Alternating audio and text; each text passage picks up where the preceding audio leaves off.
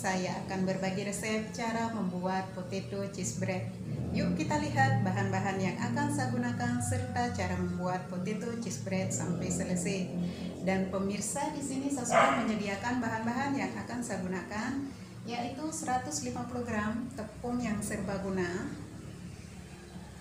Kemudian ada susu cair secukupnya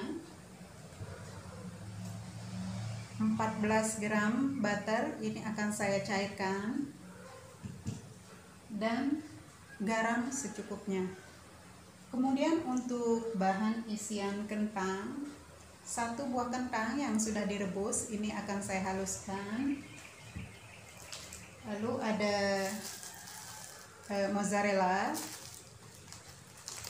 cheddar dan parmesan serta saya juga akan menambahkan lada bubuk secukupnya. Garam. Dan 40 ml whipping cream atau pemirsa bisa juga menggunakan cooking cream. Oke pemirsa itu dia bahan-bahannya sudah saya sebutkan. Dan sekarang mari pemirsa ikuti bagaimana cara saya membuat potato cheese bread. Ini dia pemirsa semua bahan yang sudah saya sebutkan tadi 150 gram tepung serbaguna lalu ada susu cair butter 14 gram dan saya juga akan menambahkan garam. Ini untuk bahan roti ya. Kemudian untuk bahan isian kentang satu buah kentang ini sudah direbus dan akan saya haluskan. Lalu ada parmesan ada mozzarella dan juga ada cheddar uh, lada bubuk, garam, dan whipping cream. Oke pemirsa, sekarang mari kita lanjut membuat potato cheese bread. Yang pertama saya akan membuat adonan roti. Akan saya campur semua bahan memasukkan sedikit garam. Kemudian ini butternya sudah saya cairkan ya.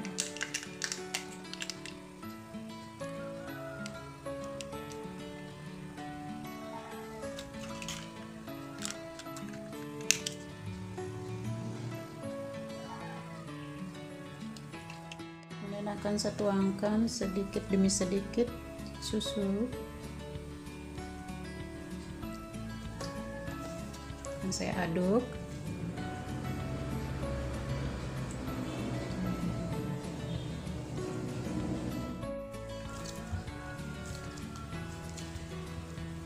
Setelah adonan kalis ya dan tidak lengket di tangan lalu akan saya tutup menggunakan plastik wrap.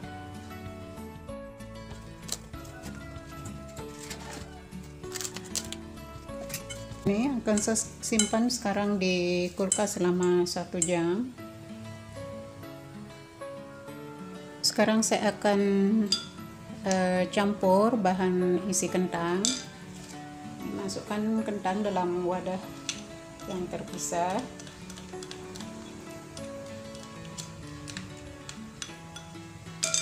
akan saya masukkan garam lada bubuk.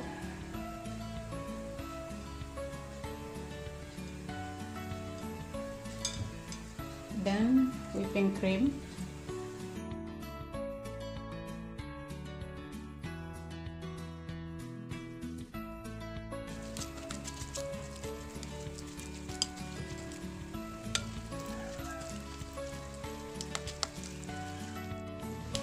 Oke, sudah tercampur rata dan akan saya sisihkan. Sekarang akan saya parut cheddar dan mozzarella.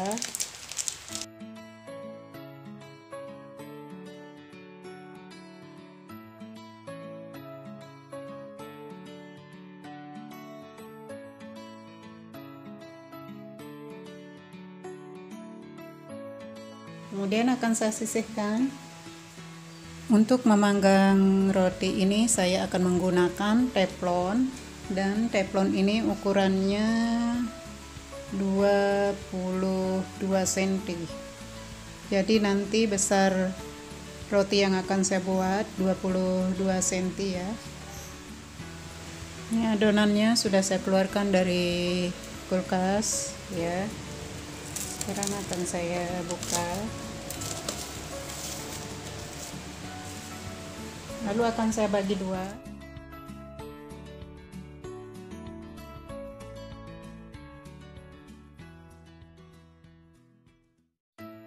Akan saya taburkan sedikit tepung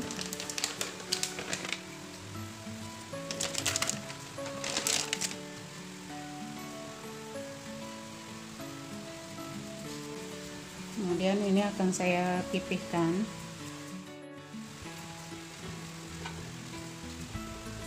silakan gunakan rolling pin ya untuk memipihkan atau bisa juga menggunakan tangan seperti ini.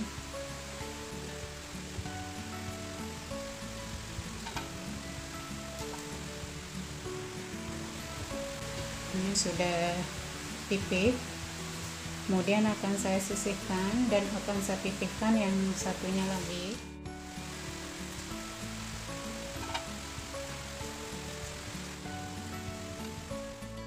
adonan kedua atau roti yang kedua sudah pipih juga. Kemudian sekarang akan saya uh, isi dengan mozzarella. Dicampur dulu mozzarella dan cheddarnya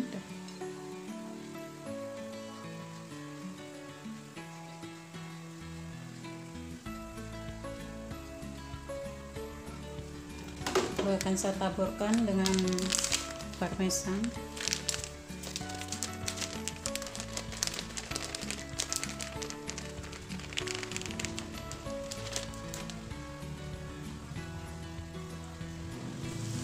Kemudian akan saya masukkan uh, kentang isi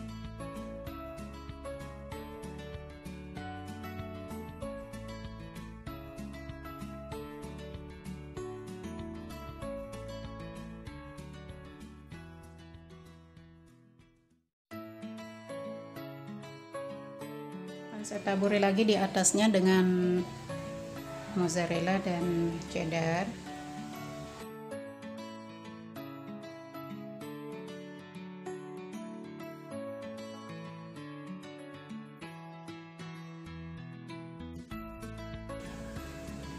Dan sekarang akan saya tumpuk dengan roti yang tadi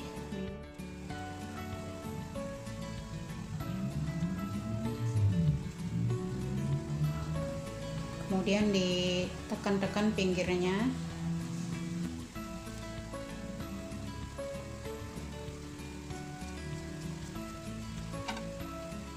Oke, sekarang akan saya sisihkan sedikit ke pinggir.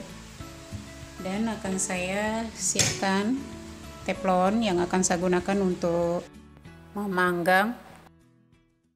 Ini akan saya olesi dulu dengan sedikit blue band sampai rata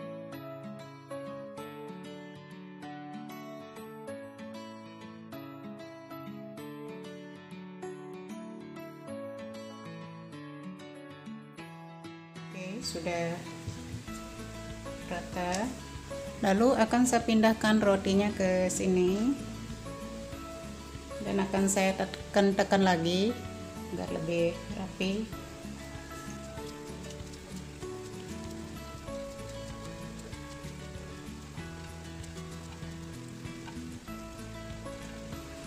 Oke, sudah jadi. Sekarang akan saya mulai panggang.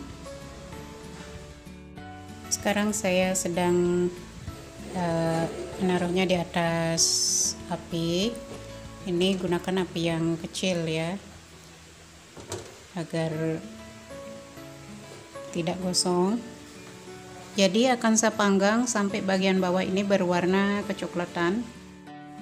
Sekarang akan saya lihat roti itu sudah coklat kemudian sekarang akan saya balik. Ya.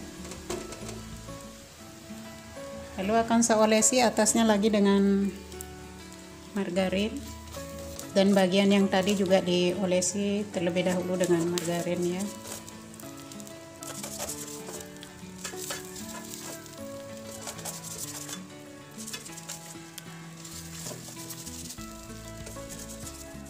Oke, nanti akan saya lihat lagi setelah bagian bawahnya berwarna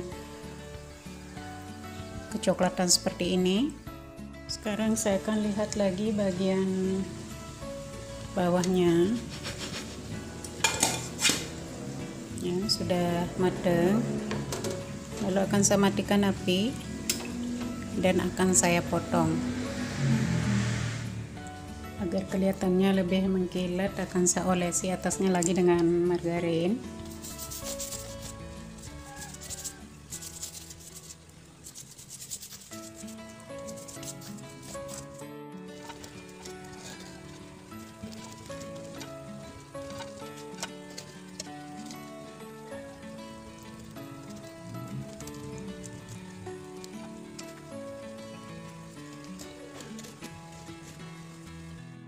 pemirsa hasilnya.